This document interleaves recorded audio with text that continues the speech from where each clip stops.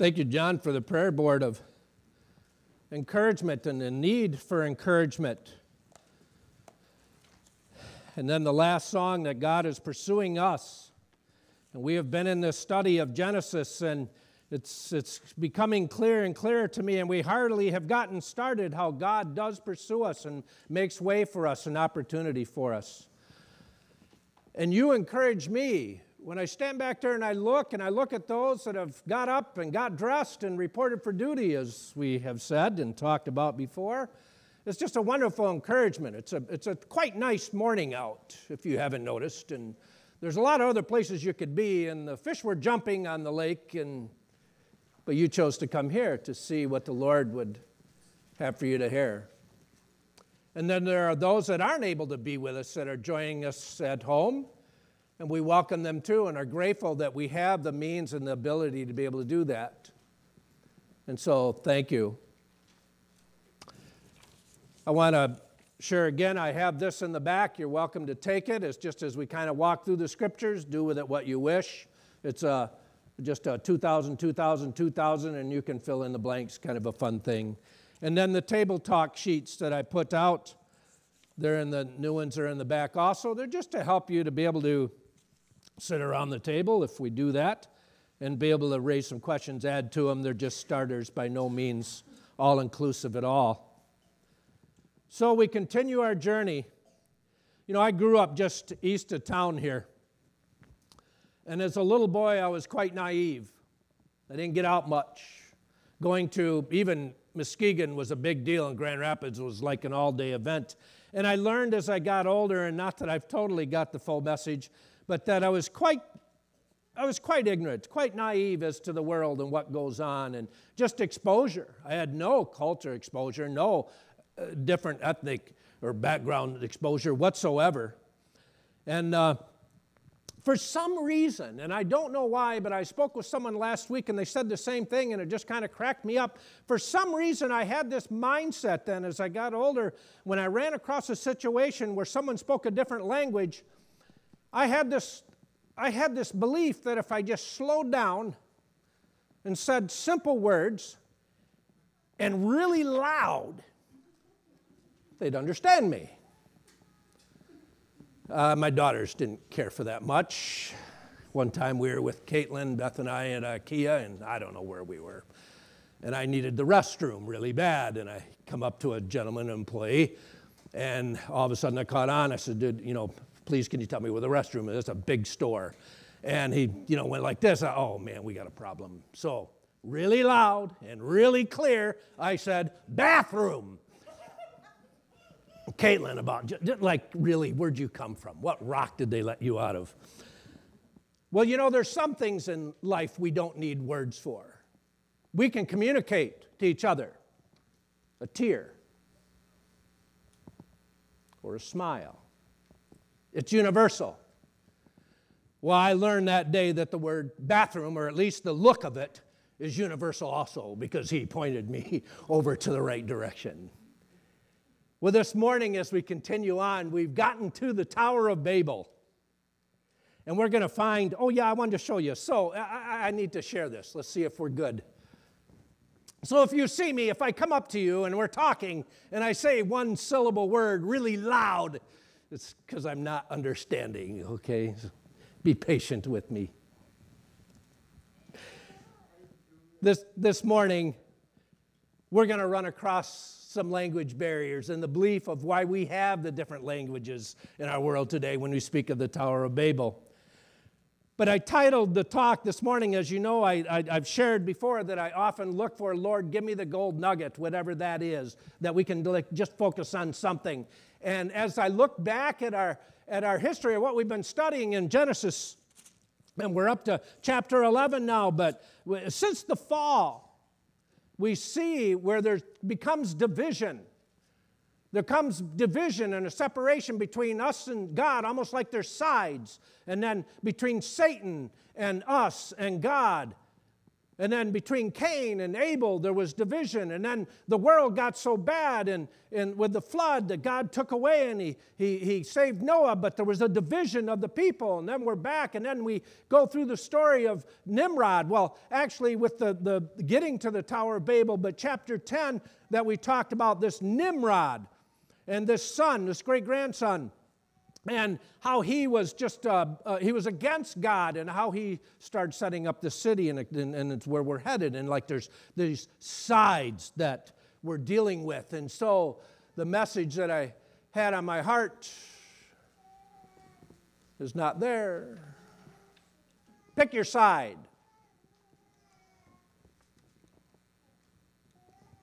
Doesn't seem to be working real well. Pick your side It's a reasonable question that one would ask where did all the different languages come from? How did they develop? And our scripture this morning is, is credited to why we have the divergent speech.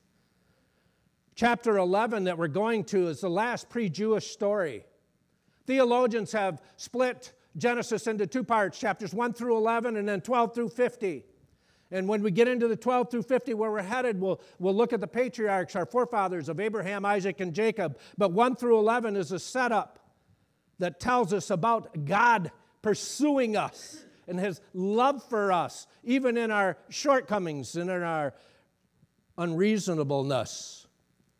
We looked at Noah's three sons and the property and the land that they took.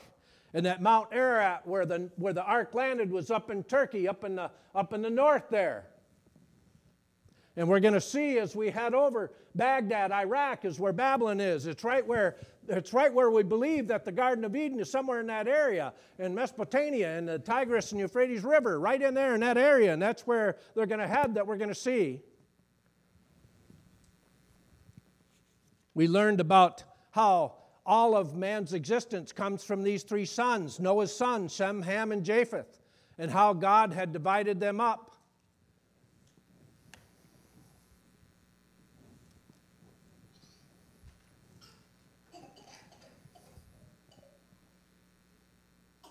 It's a bookend. Chapter 11 is a bookend to chapter 3. It's a zoom in on the first half of chapter 10. We learned about the family tree and all of humanity came from one of these three boys. Hmm.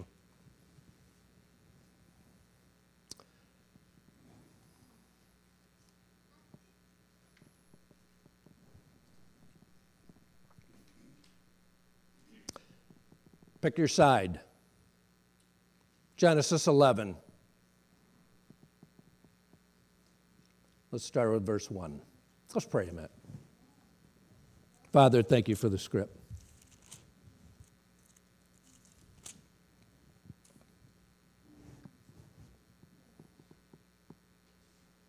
All of our days are dependent upon you. They are numbered according to your will. Lord, we awake each day and get to choose on which side that we're going to live out this life which you have given us if we're going to live it out in your kingdom or if we're going to live it out in the world's kingdom. If we're going to follow Jesus and his commands, or if we're going to follow the lust of the eyes and the lust of the flesh and the pride of life.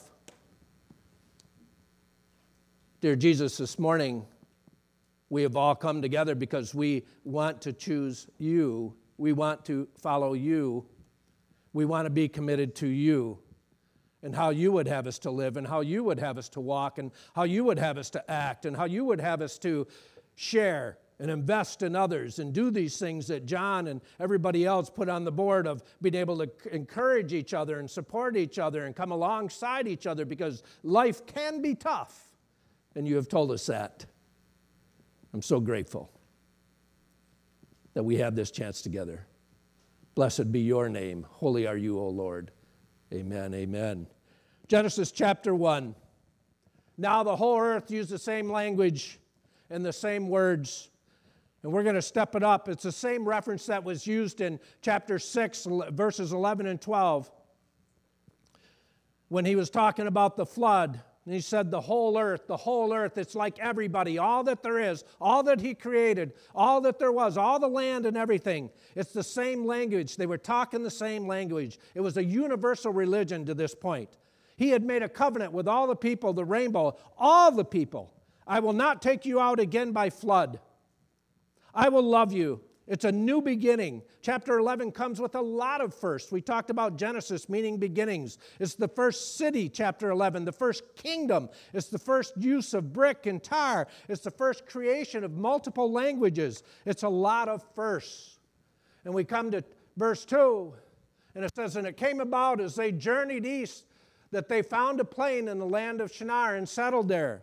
They journeyed east. Now, we know a couple things. We know that Noah lived 350 years after the flood. And I didn't trace it back to find out when did the kids move? When did they pack up with their wives and their kids? And when did they head out?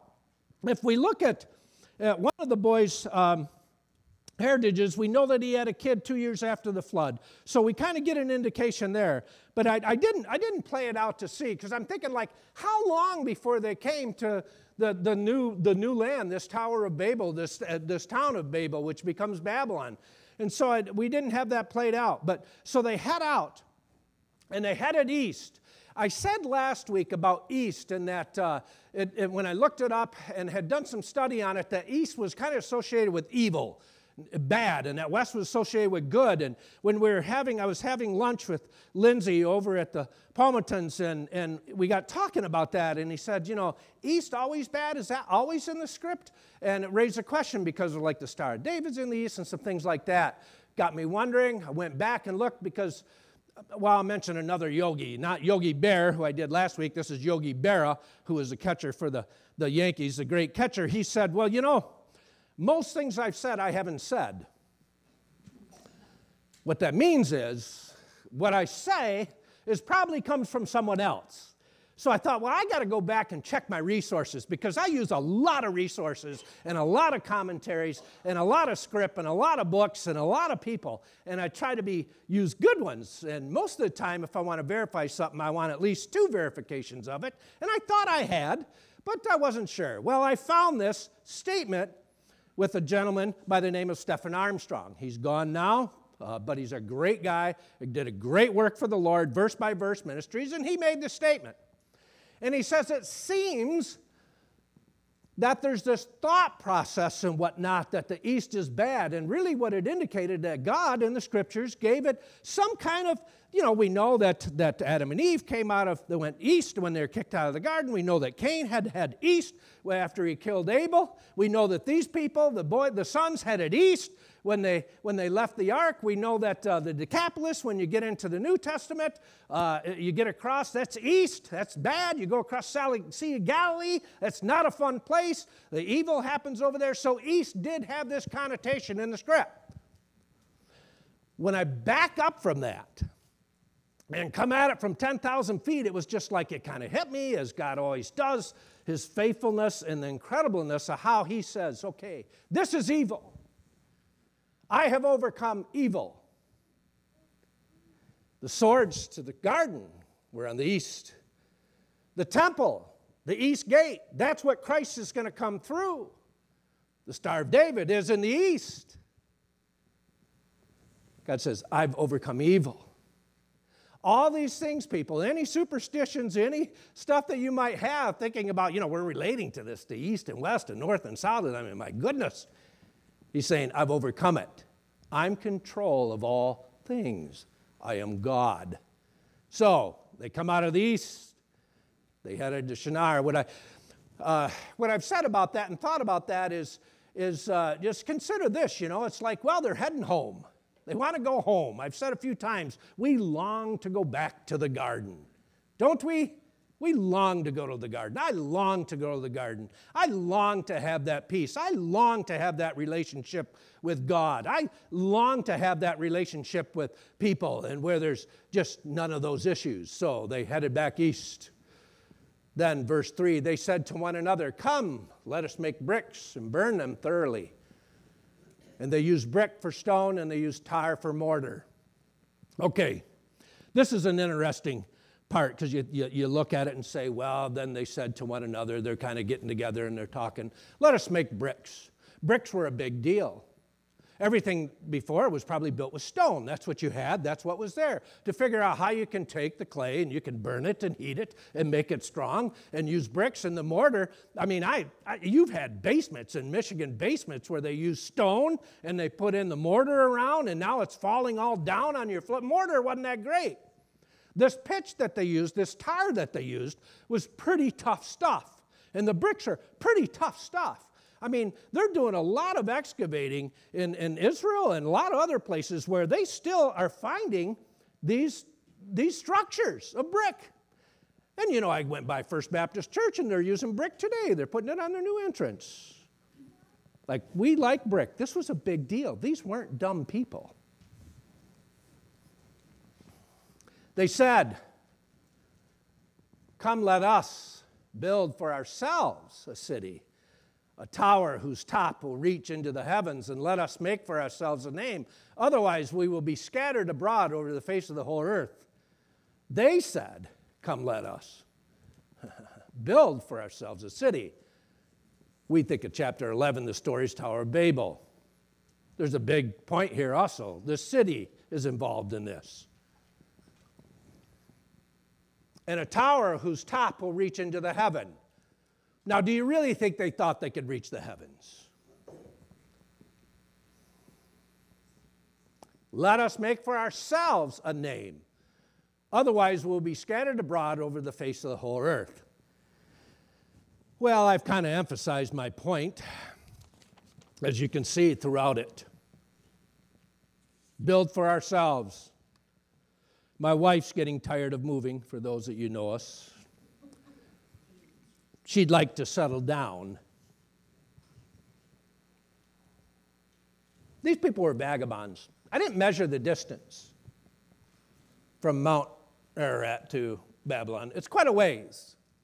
They've been on the move for a while. They've been living in tents for a while. They've been packing up and storing up and cooking and for a while. They were ready to settle down.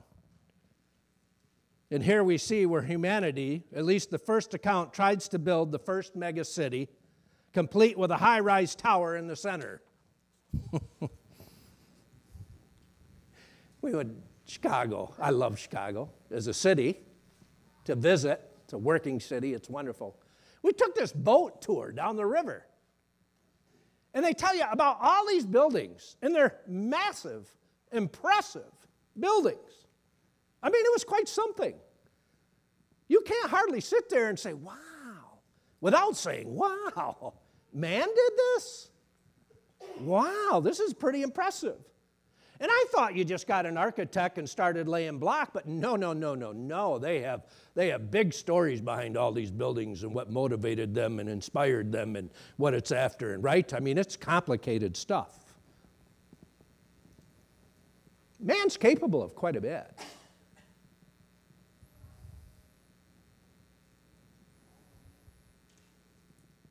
God said, Be fruitful and multiply, fill the earth. Not to stay in a city. He didn't say, Okay, boys, multiply, gather all together, and hang out. We like being together. Eric mentioned that this morning when we were praying. We like being together. I hope you like coming here being together. Years ago, when I was in the auto business and internet was kind of taken off and uh, i don't know there was various avenues where you could buy cards online and i think i don't know if it was walmart or who was selling cards i forget what it was and they were all all just like dealers were oh this is going to be the end of us. They're not going to need us anymore. And my heart said no no. People like being together too much. They like going and touching and feeling and smelling and talking and negotiating and we like it on some level.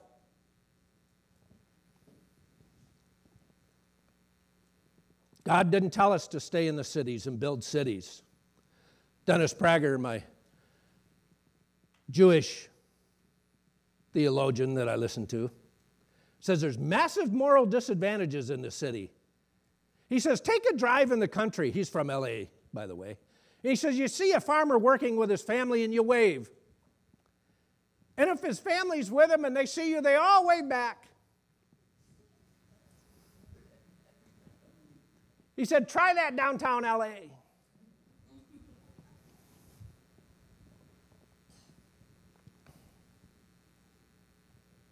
We also have the first expression here of humanism, secular humanism. If you go back to verse 4, they said, Let us, for ourselves, let us, for ourselves, make a name for ourselves.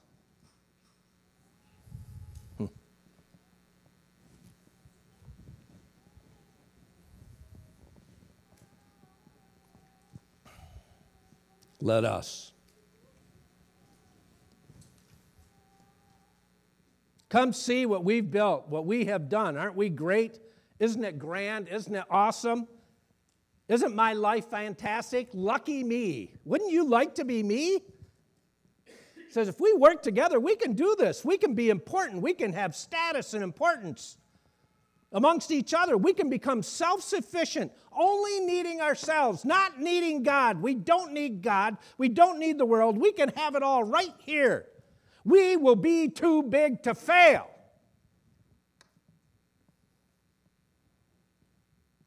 That's what they said when they threw the ropes off the dock to the Titanic as it sailed away.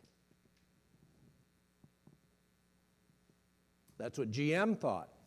Years ago, when I was in the business, when I got in the business, 50% of all vehicles owned was a GM car. They were absolutely massive, huge. Too big to fail. Then, after he talks about the city in verse 4, he says, Then a tower, let's build a tower, a ziggurat to heaven. I put this down. I said, What picture do you have of ancient time people? What picture do you have of Ham, Shem, and Japheth? What do you think they look like? What do they look like to you? I don't know what you've seen, but you know, I mean, we've seen pictures of the, you know, and I'll make it a little rough, but kind of like, you know, the evolutionists, you know, that you start out as an ape and pretty soon you're walking with a suit and a tie and a briefcase. I don't know if you view them in, in that form, by no means, but maybe a little prehistoric. I mean, I don't know, did they look like us? They look like us.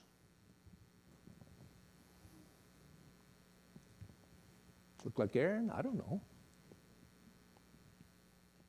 They weren't dumb people. They knew they couldn't reach the heavens. But they didn't live as we do. They didn't go to school for 20 years and then work for 30 to 40 and then the last bit try to enjoy yourselves. Shem lived 500 years. Eber lived 400 years. They lived longer, almost twice as much as our country even exists. They weren't in a hurry in school. Can you imagine what you could learn in 500 years? That civilization, that first civilization, wasn't quite as prehistoric as I might envision.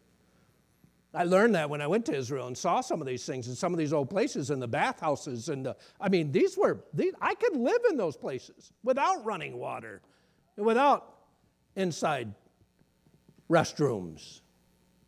They had amphitheaters and libraries and auditoriums and I mean they had huge entertainment. That's what drew a lot of the people to the other cults and the other religions. You could go get food, get clothing, get guidance and instruction.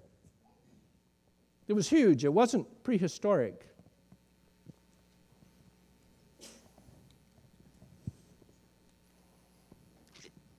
Tower of Babel. This tower was seven levels. It was astrological in design. Alistair Begg states it was the first astronomy on top, where they would go up top and study the stars. It was later called, as I, I called the Tower of Babel. Babel means El, take the EL at the end, and if you remember from the beginning, El was Elohim, which was our God in the beginning. And then chapter 2, when we had a recount of the creation, it was Adonai Elohim. He became personal. But this is El, God, stands for God, and Ba was gate, gate to God. The gate tower to heaven. God said, No, you got it wrong. It also means confusion. I'm going to confuse you. Well, at first glance, I thought, well, why is it so wrong what they did? It wasn't, it wasn't as if they were fighting against God. We don't have record of that. And it seems to me that the point of it was, it wasn't that they weren't fighting against God, it's that they weren't even thinking of Him. They had totally ignored Him and pushed Him off. And we're only 350 years after the flood, and God's out of the picture, and Nimrod is against God. He's, he's doing everything, a great hunter. So, is it wrong to have goals and to work hard and to achieve and acquire and accomplish things? By no means. It's only when we're celebrating all this without God, when He's not in the picture, when we're ignoring His commands, making towers to ourselves God has no problem with building when He's in it. He just says, store up the treasures in heaven, not on earth. Have fun, build. He loved to create too. Last week we said, keep building, keep building. Just know what you're building and why you're building. Well, thankfully, God doesn't forget us. Verse 5 the Lord came down to see the city and the tower which the sons of man had built the Lord came down. Did God have to come down? No. He knew what was going on. Did God have to come down to the garden, chapter 3, to talk with Adam and Eve? No, he knew what was going on. But he comes down. Why does he come down? The message is for me is that uh, God will meet us where we're at. He comes down. So then my mind does this once in a while, and I don't know if yours does, but uh, you know, like, wh- where does God hang out? He's in the heavens. What does that mean? How high up is that? I fly, I've flown in a plane and I get up above the clouds and the sun's shining and it's beautiful. I get pictures of, you know, we, we, we've launched, we've went to the moon, we've seen, I can see from the Hubble telescope, you know, all these wonderful things. We've shown you that before. And it's like, well, I don't know. I, you know, I know like the sun's like 92 million a mile, 94 million. I mean, it's a long ways away, but where's God? Is he above that? What's beyond? Where are the heavens? I have no idea where the heavens are, but I presume that it's quite a ways somewhere along the line, I looked up because you can Google about anything, and there were some pretty reliable sources and something of the nature that, well, it's probably approximately 46 billion light years away. Well, that just sounds like a long ways to me. Because I really don't, we have to measure things in light years when we start getting out that far because it's too big. We'd have way too many numbers. Thought, well, okay, a light year. What's in a light year? I got to break this down just for fun, so I did. The, the speed of a light year in a vacuum is 186,282 miles per second. So, one, one thousand. You just went around the earth seven and a half times at the speed of light. Now take a billion it's a billion of those. So heaven might be a ways. I'm not necessarily saying that's fact. My only point is I don't think we understand where heaven is and how big it is. But when we start talking about light years, which is what we do, it's like, oh, what's the first thing God created? What did Miss Beth say, kids? What's the first thing God created? Anybody remember? What is it? Light. First thing God created, light. You just went seven and a half times around the world. That's our God. And He's willing to come and meet us where we're at. He'll come and meet you where you're at. He'll come down and meet you where you're at. Like that. Wherever He is. He is patient. The Lord said, Behold, they are one people, and they all have the same language, and this is what they began to do, and now nothing which they propose to do will be impossible for them. Very interesting scripture. And I'll tell you, when you do expository preaching, it's difficult because the text is the outline. You can't take a topical and pull a, pull a scripture out of there and go from there. This is your outline. So I pondered on this one quite a while, and where the Spirit brought me back to, it absolutely brought me back to chapter 8 when after Noah had come out of the ark and he made an offering to the Lord, and the Lord said it smelled good, and he said, Never again. He says, You know what? The intent of man is evil, but never again will I do this and allow this. Never again. And that's exactly what verse 6 said to me in chapter 11. Behold, they are one people. They all have the same language. Behold, I remember the intent of their heart is evil, but never again. And this is what they began to do, and now nothing which they propose to do will be impossible for them. And I will never again send a flood. So I'll never again let them get to the point of before the flood. Never again. I don't know how wicked that was before the flood, but when you look at it and you study it, it was incredibly wicked. And God said, never again. And I know we live in challenging times, but He said, never again. That's a promise. That's what verse 6 is. So He says, I can fix this. Come, let us go down. Us, let us. Father, Son, and Holy Spirit, and confuse their language so that they will not understand one another's speech. I know what I'm going to do. I'm going to scatter them so they don't understand each other.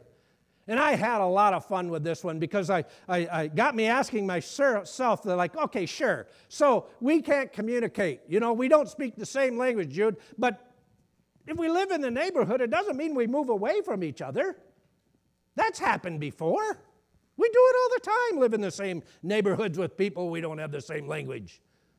Now, it might be a little bit weird, I come out and I see Sam, and Sam's talking, and I think, wow, what?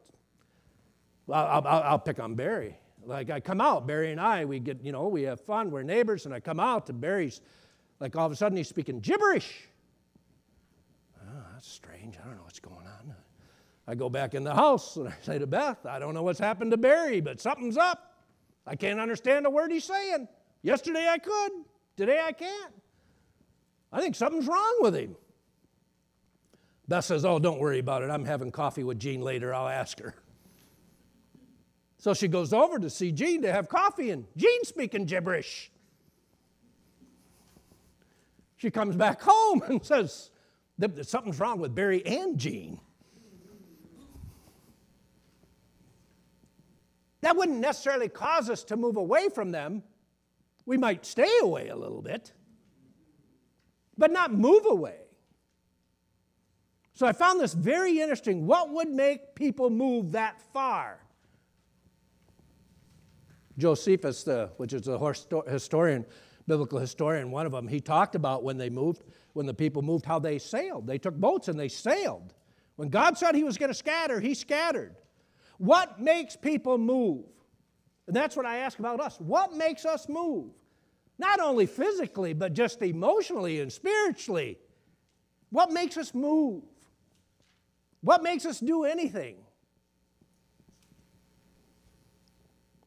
I don't know if this case, confusion was probably part of it, anxiety was probably part of it, stress was probably part of it, depression and frustration and disagreements. Like we just can't, I don't know what makes people move, but there had to be more. What causes me to move in the physical and in the spiritual? I looked up scatter. To scatter. Boots. To break to pieces. It was more than their language, folks. They had broken relationships. It was big. to break to pieces. God broke to pieces their plans by causing pain in their lives. So when pain comes in your life, I was talking to Beth about this. Don't view it as always bad.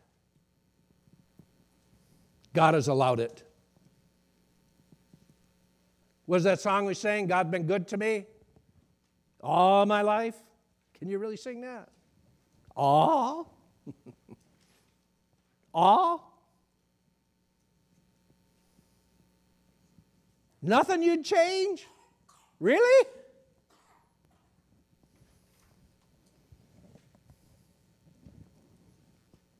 It's a good reminder to me that either by God's commission or omission, if I'm his child, I'm in his plan. Pick your side. We're going to see this unfold as we move further along in the script. When change is needed, God sometimes changes our circumstances. It wasn't about the city, it wasn't about the tower, it was about the intentions of the heart. So a man thinketh in his heart, so are we. Life is not about what we leave that people can see, it's about what we built that people can feel. Lay up treasures in heaven. When we don't take the time to communicate well, people scatter.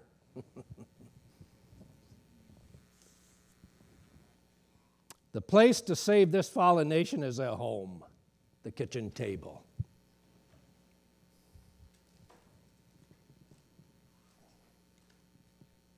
So the Lord scattered them abroad from over the face of the whole earth, and they stopped building the city. They stopped.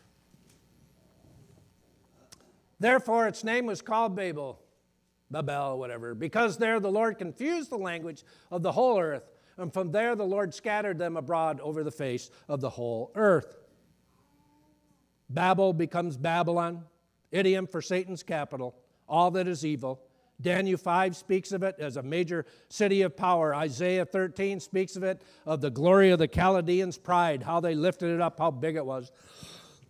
Excuse me.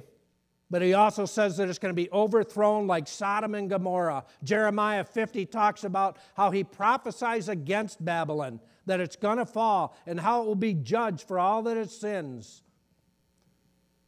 Now, if we believe in it as literal prophecy or spiritual prophecy, it doesn't matter, but don't be surprised if there's a rise and fall of Babylon.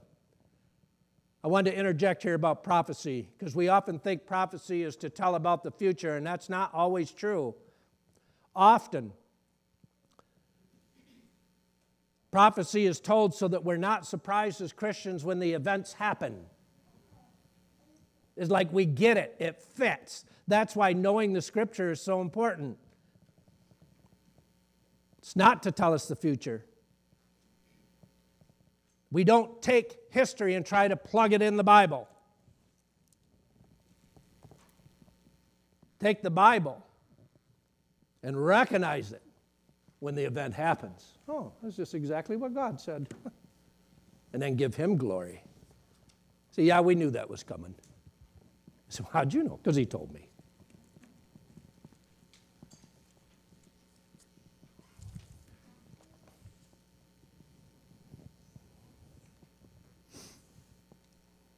It's modern day Babylon.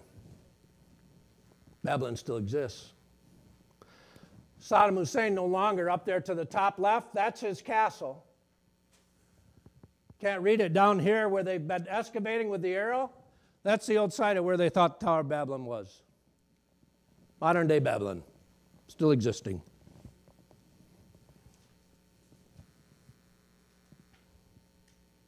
The rest of chapter 11, 10 through 28 is a zoom out again. We just went through the first nine verses this morning and a zoom in to chapter 10 that talked about and told us when the people had dispersed. Now it's going to zoom back out again and it's going to lead us to Father Abraham.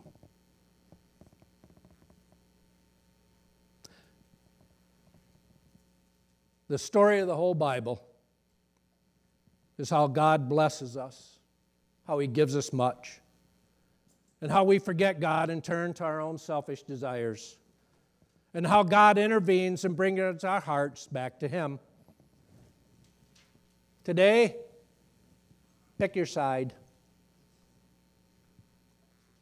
The book of Genesis is about growing up. Jesus said, I'm coming soon. It's no coincidence that this 4,500 year old city that God was giving us a picture of what will happen in end times. That this great city of 35,000 people, then surrounded by a 35 foot wall, it was thick, will be in the final chapters of bringing us back to the garden that this anti God movement we're living in will end at the fall of Babylon the Great, spiritually or literally. Revelation 18 21. And our Lord and King will bring into full view his kingdom, Revelation 19 22. And today, in the very beginning of the scripture, we've hardly started 11 chapters. He's told you of what has not yet been seen. He's let you in on it.